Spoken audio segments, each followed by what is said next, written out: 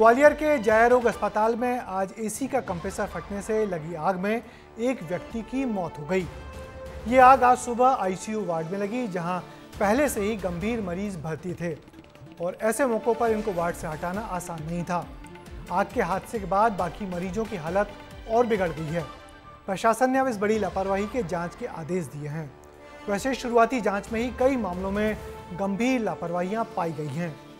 क्या है ये पूरा मामला? देखिए इस रिपोर्ट में।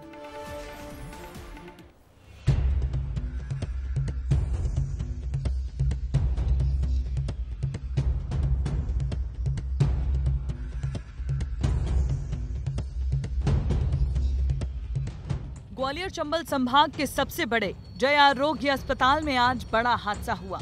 ग्वालियर के ट्रामा सेंटर के आईसीयू वार्ड में करीब 10 मरीज़ भर्ती थे। तभी अचानक शॉर्ट सर्किट हुआ।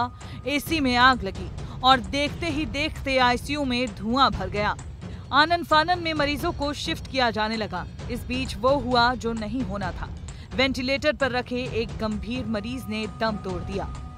ग्वालियर के जया रोग अस्पताल के ट्रामा सेंटर का ये आईसीयू वार्ड है और इसी में आग लगी। आप देख सकते हैं कि ये आग लगने का कारण ये एसी है। देखो एसी पूरी तरह से यहाँ पर जल चुका है। बताया जा रहा है कि शॉर्ट सर्किट की वजह से इस आईसीयू में आग लगी है। इसमें लगभग 10 मरीज़ भर्ती थे और वो गंभीर रूप से भर्ती थे। जैसे ही आग लगने की घटना यहाँ पर पता लगी तो भगदड़ मच गई और उसके बाद यहाँ पर जो मरीज़ भर्ती थे उनको सुरक्षित बाहर निकाला गया है और बताया जा रहा है कि एक मरीज़ की हालत गंभीर थी।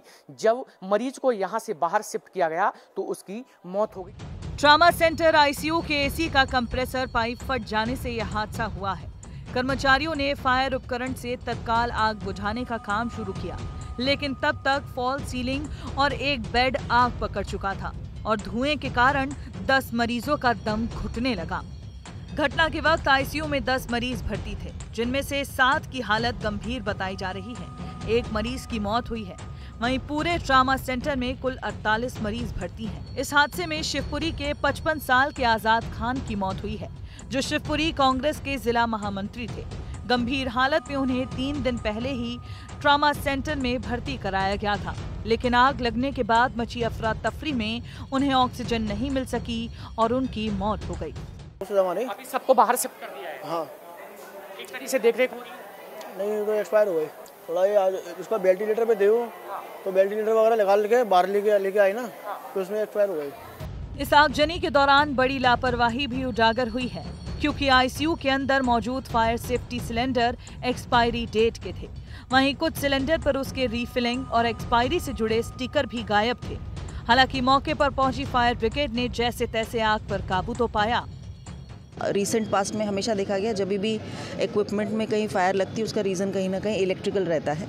और जैसा कि मैं आपको बता ही रही थी कि ये एक ट्रॉमा सेंटर है, जिसमें एसी ऑलमोस्ट 24 घंटे चलते हैं। तो इसके संबंध में एक डिटेल्ड एक बार ये एनालिसिस हो जाए, वो एक बार प्रोग्राम प्रॉब्लम को असेस कर लें और आयुक्त महोदय की अध्यक्षता में हम दोबारा एक बार इसमें बैठ करके एक प्लान बनाकर उसको एग्जीक्यूट करने का रास्ता लें। लेकिन ये पहली बार नहीं है जब अस्पताल में आगजनी की घटना हुई है।